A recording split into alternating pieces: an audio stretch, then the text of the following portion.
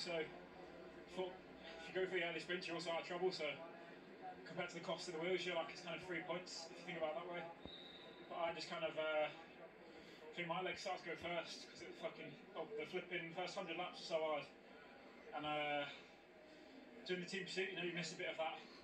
It's like an hour long threshold of this, and then I kind of start to suffer, and then I think because maybe I was throwing